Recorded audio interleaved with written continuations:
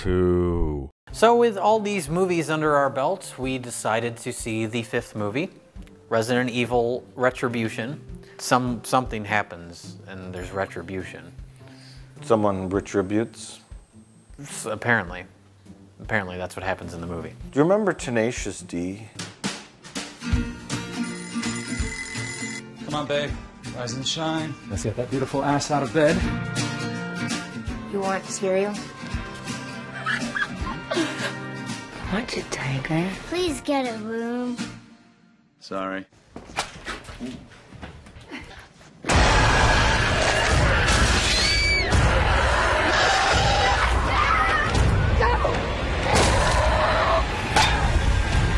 None of this is real. None, none, none of this is real. So we should talk about the opening of this movie, which is uh, the opening credit sequence is sl- in slow motion and reverse, and it's showing what happened after the events of the fourth movie, Right. Like directly after them, where the ship is being attacked by Yeah. the Umbrella Corporation. So it's in slow motion reverse, uh, and it goes on for a good five, six minutes, something like that. So that happens. And then there's the recap of the previous four films, and that's another five, six minutes or so, maybe even longer, I don't know. Uh, and then we are treated to the slow mo reverse scene again in normal time, normal speed. And then Alice wakes up and she's in a bed and she's in a little suburban neighborhood and her house gets attacked by zombies. And it turns out that that's a clone Alice and this is like a test environment. And then real Alice wakes up. So here we are, like 20 minutes into the movie, and absolutely nothing of consequence has happened yet. Nothing substantial. A lot of false starts. A lot of false starts, a lot of people, and that's the whole series. Like either people waking up and then something happening to them, and then waking up somewhere else. Mm-hmm. But this one took it to a new level where it was like constantly. So then the real Alice wakes up, and she's in some little room, little white room or whatever, and she walks out, and then she walks into Tokyo, mm-hmm. right? Like a Tokyo uh, test facility. Yeah, It's like essentially it feels like a holodeck program. Yeah, Um, kind of like that.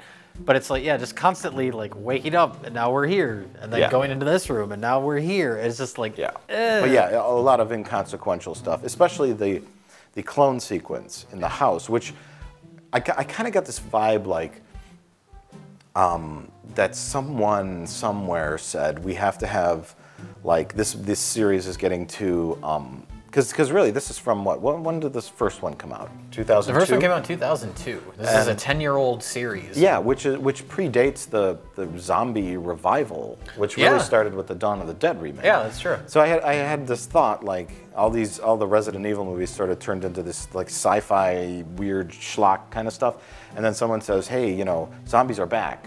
Um, the Walking Dead is a really popular TV show, and we need a scene that's like that, Yeah. where someone's fighting zombies in a house setting, in a suburban setting, and someone's do you driving around. And I think that motivation like made that scene end up in the movie. So you could throw it in the trailer, and and you can you can kind of pull off that vibe.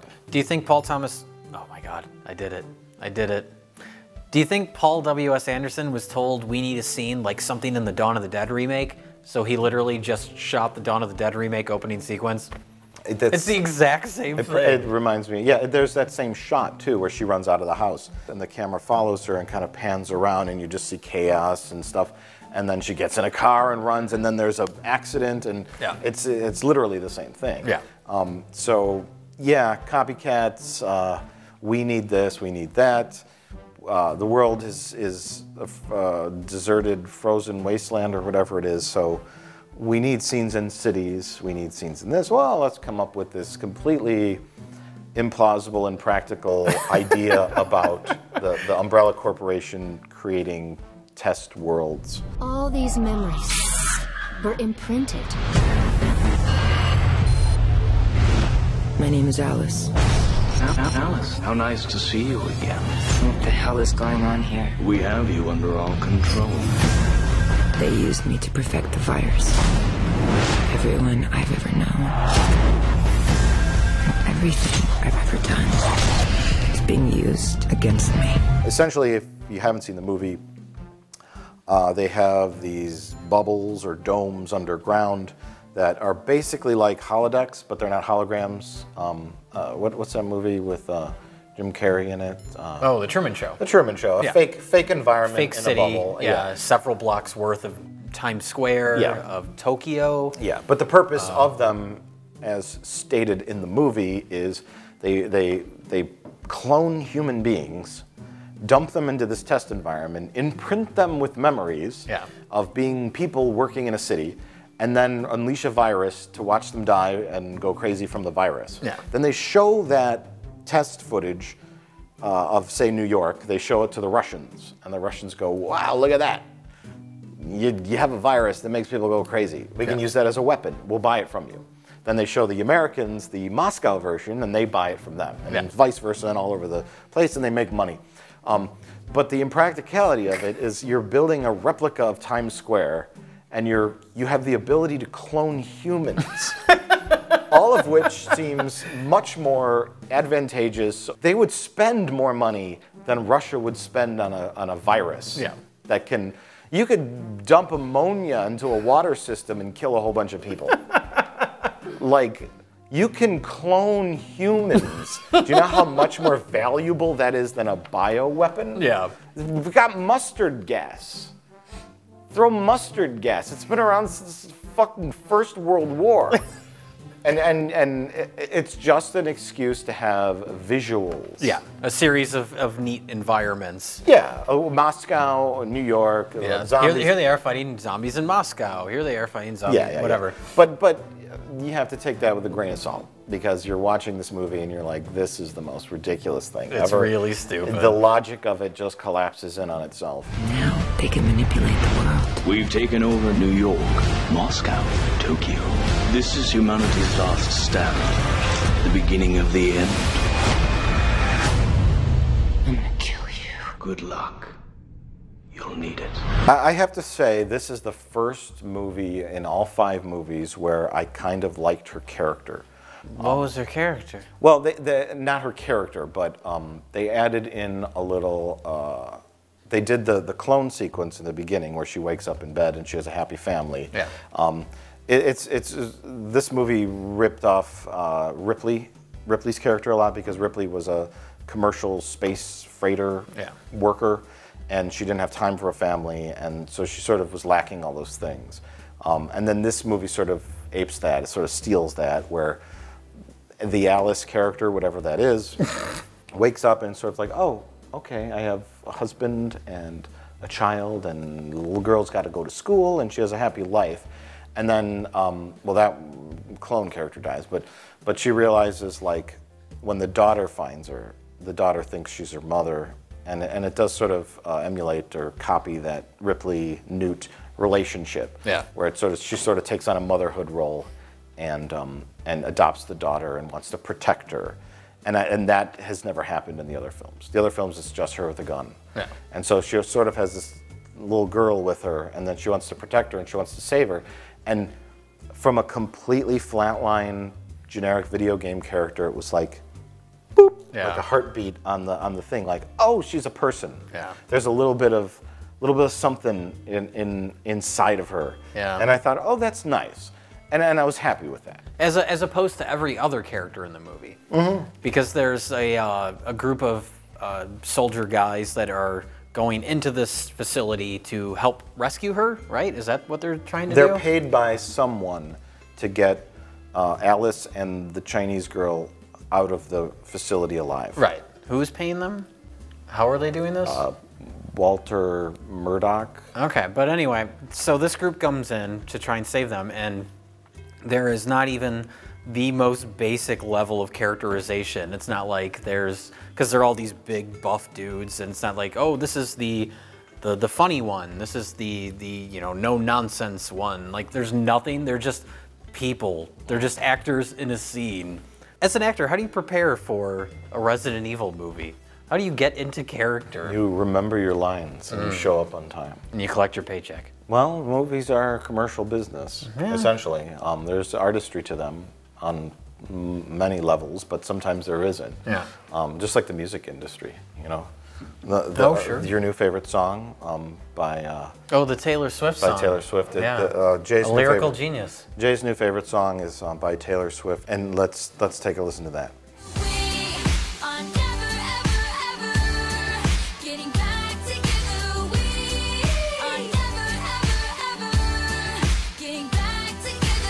Uh, that is the equivalent of a Resident Evil film in musical form. Much like the Resident Evil movie speaks to socially awkward, fat, bearded guys who like to see violence, the, uh, the Taylor Swift song speaks to 14 year old girls in junior high who just broke up with their boyfriend Yeah. and want to say, We are never, ever, ever getting back together. Yeah. Um, th- there is an audience and there is a market, and, um, and it is a product. And that's essentially what this is. Uh, this level of artistry, 3%. Umbrella is more powerful than ever. And we're the only ones who can stop them. If we're going to talk about the other films, I liked the fifth one probably the most. Which would you say that is faint praise? Yeah, yeah. No, I didn't mind this movie that much. Yeah. Well, it, it had a neat premise, like even though it didn't make any sense, but the idea of this underground facility with all these different, Mm-hmm. you know, sections. Like here's a New York setting, here's a you know a Tokyo setting. Yeah. I thought that was neat. I, I don't think they did enough with it, and I would say that with all these movies too. Yeah. Like the third one, like post-apocalypse Mad Max world with zombies. Okay, cool. Oh, but nothing really happens Yeah. in the movie. A lot, a lot of creative worlds, creative ideas, and but not really creative writing. Yeah. Um, but but this one, uh, the premise was neat, uh, more so than the fourth one. Which well, I, the fourth one didn't have a premise. I don't even remember it. The fourth one, they wandered around, and then at the end, they got on a boat. Yeah, but this one, like, it, it reminded me a lot of Aliens, not just the Ripley Newt analogy, but but the whole like we're going into this thing and we got to get out before it blows up. Yeah. which is every Resident Evil movie actually. But but the whole idea they go they go to a former Soviet Union area, winter. Yeah. There's this massive concrete submarine facility where they build nuclear subs, and um, there's, there's this elevator with the, the sickle and hammer logo, and it's like massive place. And Yeah. Neat stuff. And, and the, the creature, that, that brain creature, the, the monster that looked like Spawn, Yeah. uh, much better looking. Yeah, especially compared years to like the first movie. Yeah. And oh so, my god. so cool, cool stuff happened in this movie. But yeah, it, it needed more humanity, and um, and really, that's that's that's the easiest part.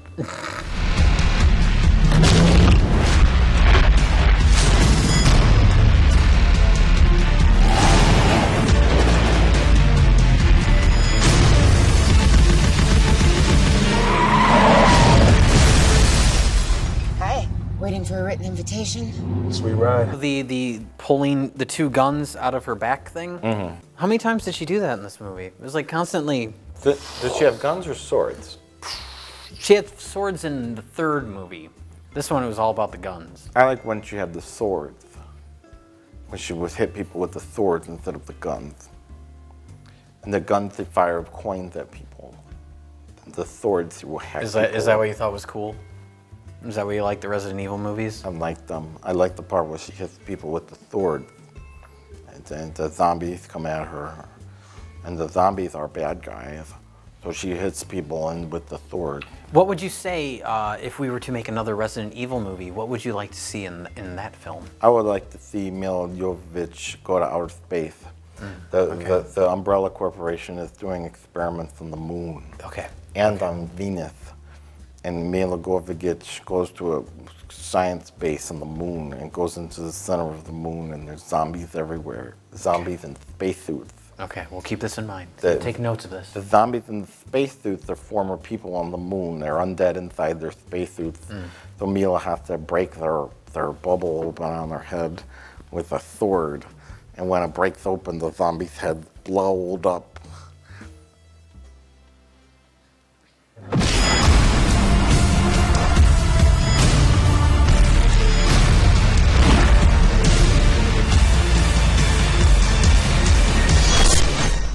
As a movie goes, comedies. A comedy has to be funny. Sure. And if a comedy doesn't make you laugh at all the whole time, then it fails at what it does. The, the movie that we saw called Jeff, He Who Lives at Home, Oh yeah. promised to be a quirky uh, dramedy, uh, and, and it didn't deliver on anything. Yeah. It, it delivered on irritating the shit out of me. um, bad movie. This movie promises people fighting zombies and kicking ass and action scenes. Yeah. And to me, it delivers on that. The, the fourth one didn't. The third one didn't. There were long, long stretches of boring shit. Yeah. And and but this one, as far as visuals and constantly changing the scenes and moving on and action stuff, it delivers. So Yeah. I, I I think I might recommend it. It's like when you buy a vacuum cleaner. I better suck. better suck up the shit on your floor. And Resident Evil 5 sucks.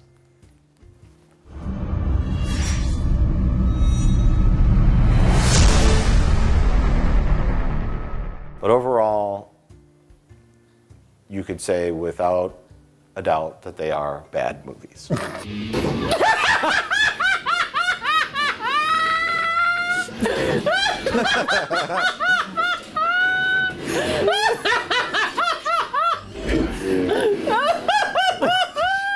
Well, that killed some time, but we really need to get some customers. yeah. Hey, I wonder whatever happened to the greatest customer we've ever had. Anna Nicole Smith. No, I was talking about Mr. Plinkett. Oh, Stupid casino. Taking all of my money. All those lousy Indians. I'm gonna. Oh my god! I crap my pants! And also, I've been robbed!